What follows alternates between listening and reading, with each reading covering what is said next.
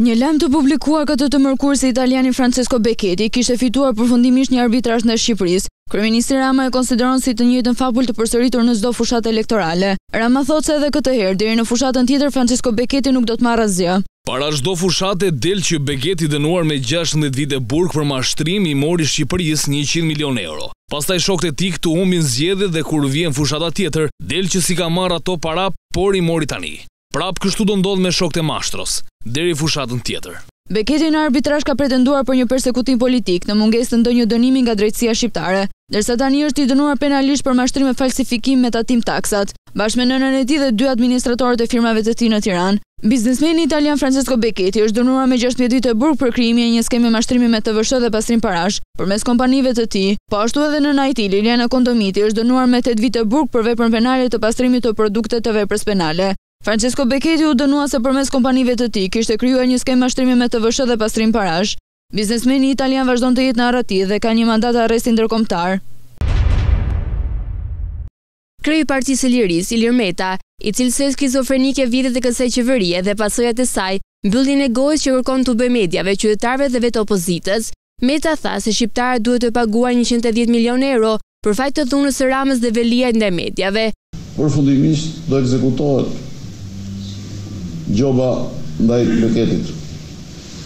Do paguajnë shqiptarët njëqind e dhjetë milionë euro. Pse? Për dhunën dhe shkeljen e ligjit që bën Edi Rama dhe Erion Veliaj ndaj mediave. Për të mbyllur gojën.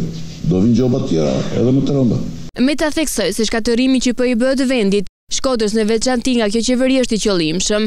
Megjithatë, ai shprehu besimin e fortë se opozita do të fitonte pesë me zero në këtë qark. Prandaj unë besoj shumë në këtë angazhim madhor të koalicionit tonë, bashkë fitojmë.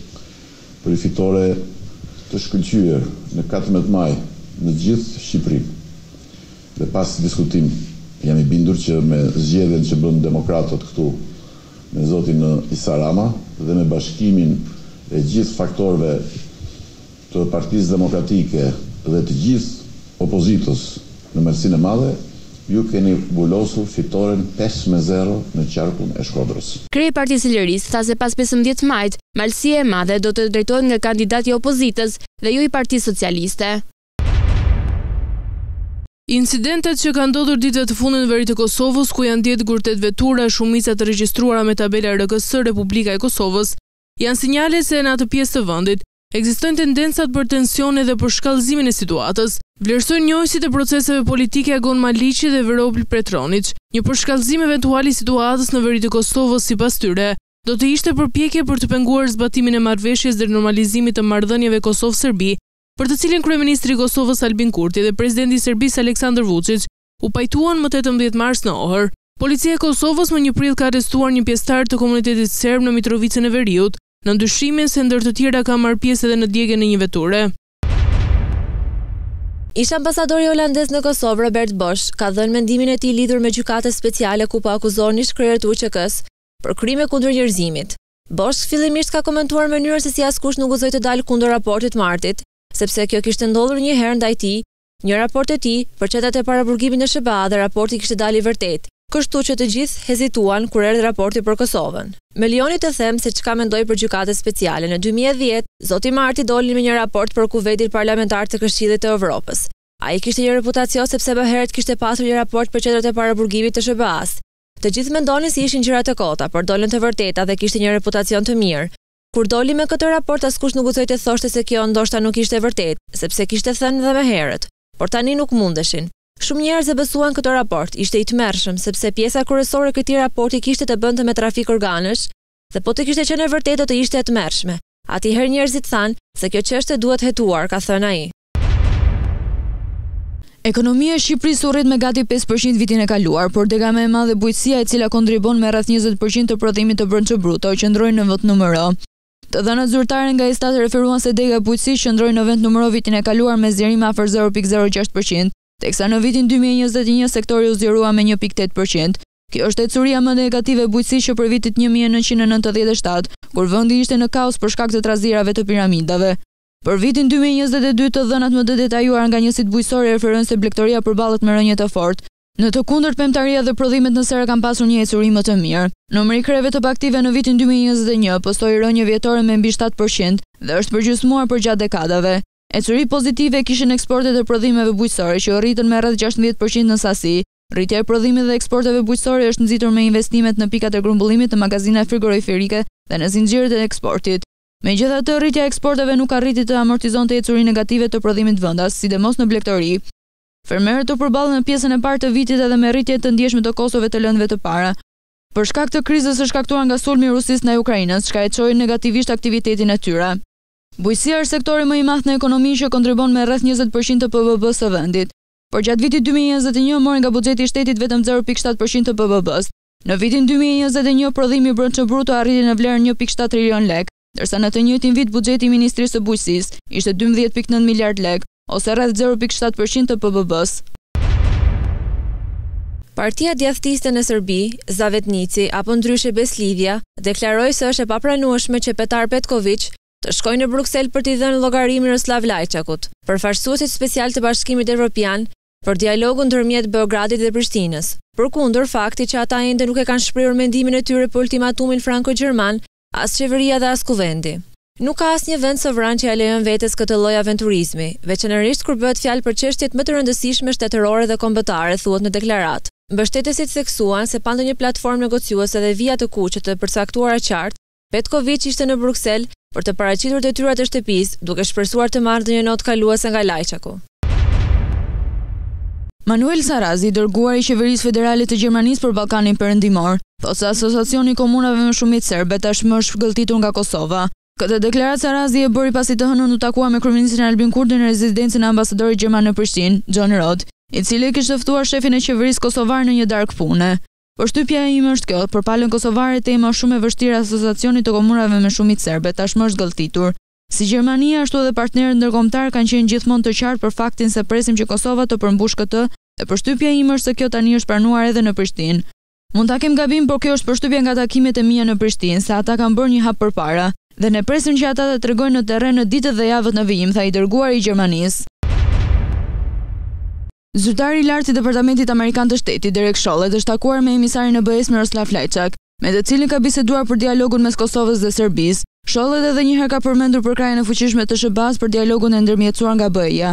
Ai ka thënë se kanë ndarë përkushtimin e njëjtë në mbështetjen e Ballkanit Perëndimor në rrugën drejt integrimit evropian.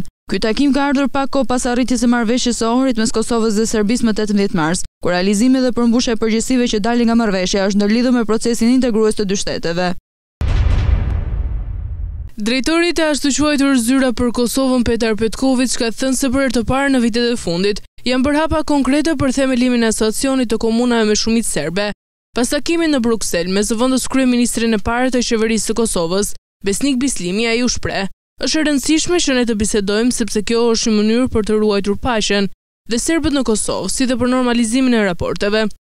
Diskutuam për hapat konkretë drejt formimit të Asociacionit dhe se çfarë duhet të bëjë ekipi menaxhues, në pajtim me marrëveshjet e viteve dy mijë e trembëdhjetë dhe dy mijë e pesëmbëdhjetë. Po ashtu Petkoviq theksoi se palët janë pajtuar për deklaratën e të zhdukurve të luftës, e cila do të miratohet në një takim të nivelit të lartë mes Vuçiq dhe Kurtit. Bëmë kujdes të veçantë me kushtet që nuk e pranuam termin e përmendur si Konventa e të zhdukurve me dhunë, për të mos dëmtuar interesat e Serbisë, ka theksuar Petkoviq. Pas përfundimit të takimit trepalësh mes kryenegociatorit të Kosovës, Besnik Bislimi dhe atij të Serbisë, Petar Petkoviq, me emisarin e posaçëm të Bashkimit Europian për Dialogun, Miroslav Lajçak, Bislimi ka thënë se palët janë pajtuar që takimi i radhës mes presidentit serb Aleksandër Vuçiq dhe kryeministrit të Kosovës Albin Kurti të zhvillohet më njëzet e dy prill. Por kjo nuk është aq e sigurt pasi ka indikacione që presidenti i Serbisë nuk është i gatshëm apo nuk mund të vijë në këtë datë, kështu që mbetet të shqyrtohet një datë alternative, u shpreh Bislimi. Ndërkaq, në këtë takim të radhës, sipas Petkoviq, do të miratohet zyrtarisht teksti i deklaratës për personat e pagjetur, për tekstin e së cilës ai tha se palët janë pajtuar në Bruksel. Takimi Bislimi-Petkoviq është i pari pas takimit në Ohër në të cilën Kurti dhe Vuçiç kanë arritur pajtueshmëri për zbatimin e marrëveshjes për normalizim të marrëdhënieve. Ministri i Punëve të Jashtme të Serbisë, Ivica Daçiç, duke folur për Marrëveshjen e Ohrit, tha se Beogradi mund të zbatojë vetëm ato që ka marrë si obligim.